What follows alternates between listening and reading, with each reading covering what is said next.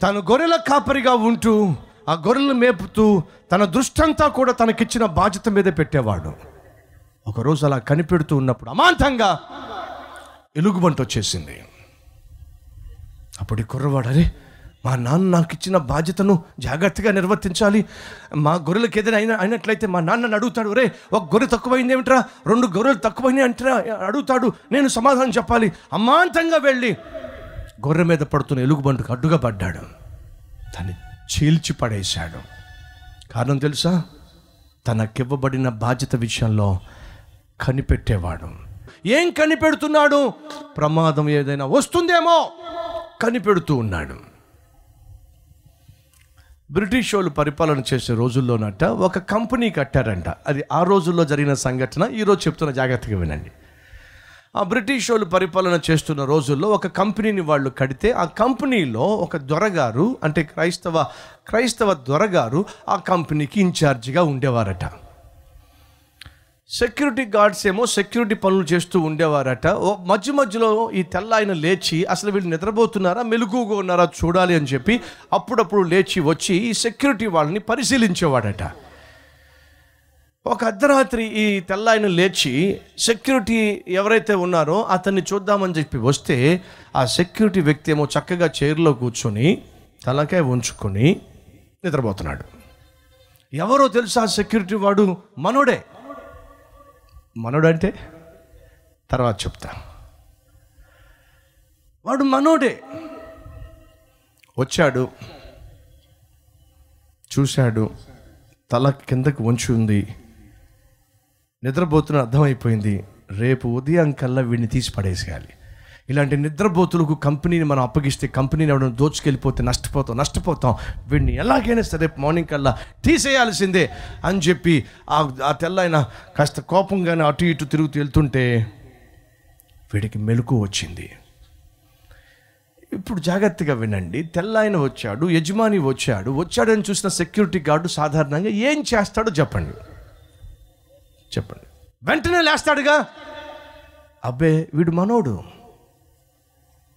లేవలా. కామ్గా తలకి అలాగే ఉంచాడు. నేను వచ్చాను ఇక్కడ నడిచాను అడుగుల శబ్దమవుతుంది వాడికి వినిపించే ఉంటుంది. అయినా వీడు లేవట్లేదంటే వీడు సామాన్యుడు కాదు. కారణం కూడా చెప్పకుండా వీడిని రేపు తీసేయాల్సిందే. అనుకుని బీపీ పెరిగిపోతా ఉంది కోపం పెరిగిపోతా ఉంది చూసుకుంటూ చూసుకుంటూ వెళ్తున్నాడు మనోడు. ఆమెన్ అన్నాడు.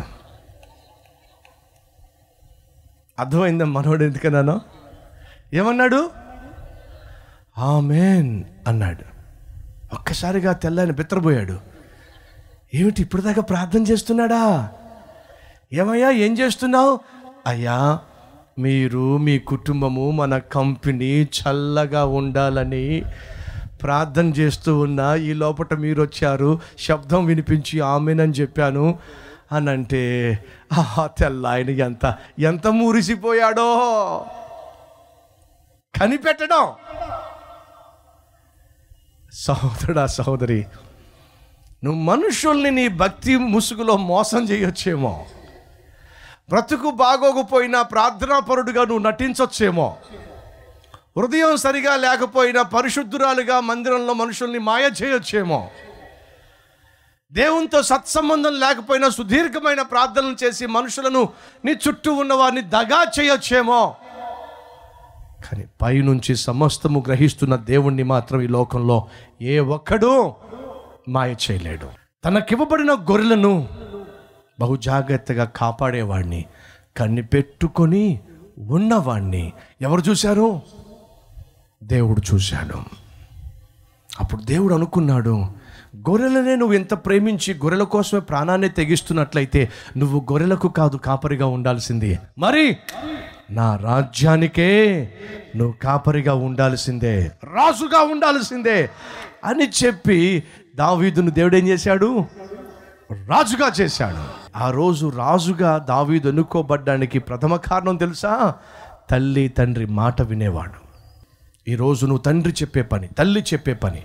ఎదురు చెప్పకుండా నువ్వు లోబడేటటువంటి ఆ కుమారుడివి కుమార్తెవైతే ఖచ్చితంగా ఒకరోజు దేవుడు నిన్ను కూడా దీవిస్తాడు.